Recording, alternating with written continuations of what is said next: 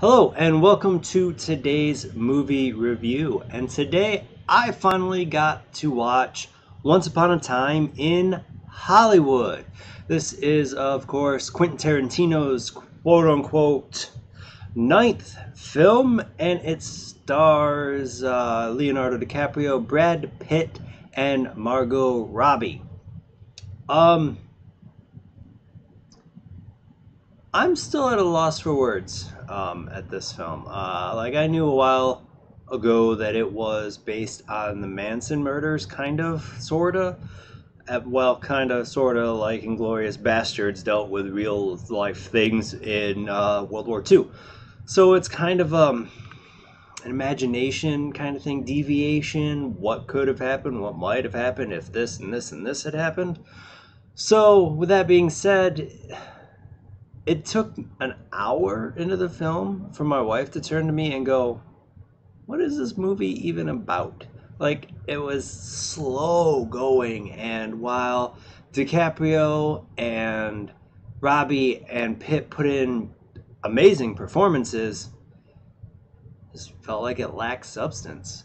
And it dragged on, and it was just too long.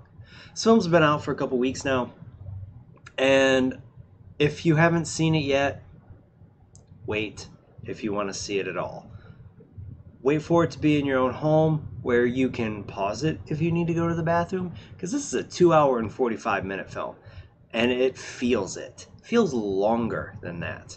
Um, there's some subplots that you can cut out because they're they're essentially pointless. They're just kind of there, and it's it just feels like it's contract negotiation saying, yeah, I'll be in your film, but you gotta put me in it for so long. So it's just, it was what it was. And, and when we finally get to what I thought the movie was really about, the Manson family and the murders, it's gone. Just gone. This movie turned out to truly be about was about the dying days of the Western it's about how this aging um, Western actor, played by DiCaprio, is dealing with what he feels is the end of his career. Does some spaghetti westerns and comes home. And it,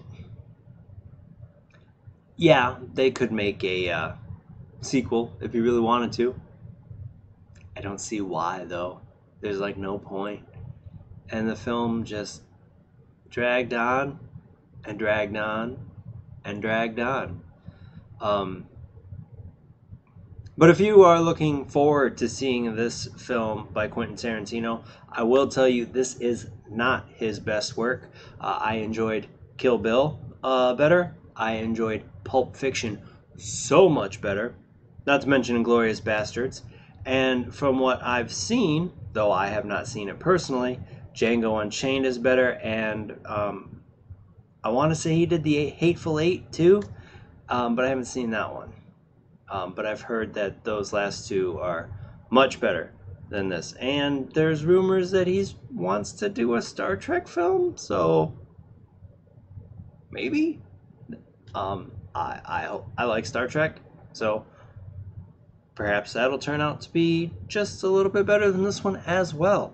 Um, but I don't have that much more to say about it. The acting was solid. Uh, just the the plot seemed almost I don't want to say paint by numbers, but but kind of close.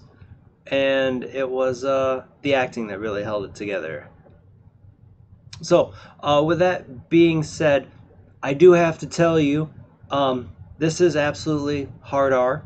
There is blood, lots of blood, drug use, a lot of alcohol, a lot of cigarette smoking, and this is, of course, Quentin Tarantino. The F bomb is dropped a lot. Like a lot. So, absolutely, I wouldn't take your kids to it under the age of uh, 18.